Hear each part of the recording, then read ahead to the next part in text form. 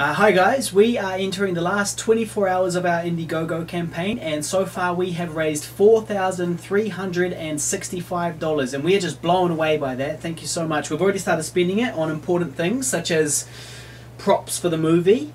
So thank you so much.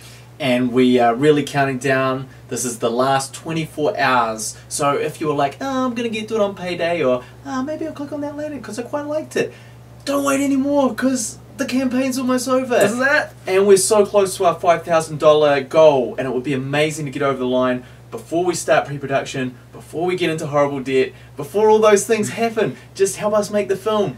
And um, click share, click like, share it round, remind people Tell your mum. tell a mate. Alright. Do whatever you can, please. Thanks, thanks so much everybody. Thank you really. So get involved.